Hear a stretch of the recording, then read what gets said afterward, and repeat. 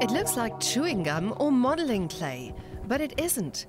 This is where the finest oil paint is created. 500 years ago, artists like Rembrandt made it by hand.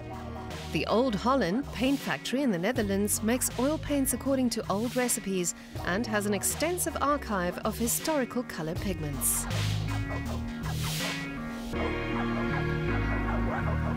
Hi, I'm Paul Balk. I'm an artist myself and I'm very interested in the history of pigments. So, you're here now in this factory. Let me take you around. Many color pigments come from stones which are ground very finely. Ultramarine blue, for example, is extracted from lapis lazuli and is the most expensive color in the world. This is the malachite stone used by Rembrandt to make his greens. And they took a certain amount of the pigment. The pupil who had to learn the trade so how much oil does a certain pigment need? First of all, with this bone palette knife, they wetten the pigment roughly. They had to grind it. That's just to make sure that every particle of the pigment is surrounded by the linseed oil. And they did it in this form the eight.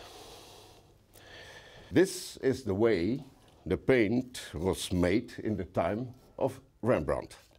So when the paint was prepared in certain amounts, they had to put it somewhere and they used dried pig's bladder, a little rope around it to tighten it. They put the paint into the pig's bladder and a little nail in the bottom if they wanted to use the same paint, they took out the nail and squeezed a little bit and the paint is rolling out.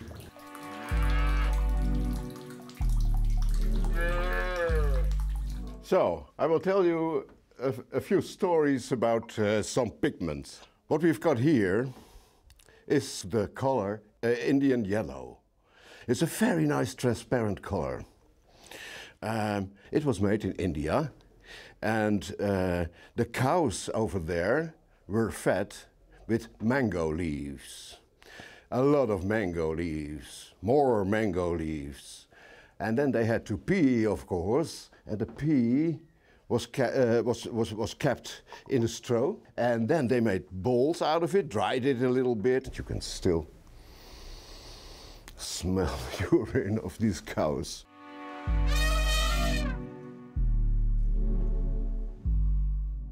Here we still have uh, the ivory uh, black made from the teeth from elephants and burned and then it becomes black of course. Um, we don't do that of course anymore. Nowadays bone black is still made. They use the bones that they get from the slaughterhouses.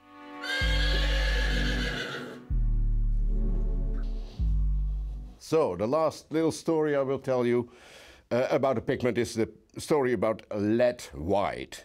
You've got a lead plate like this, you roll it up, then you put vinegar on the bottom, you put all these pots on shelves, and then you cover it all up with horse shit.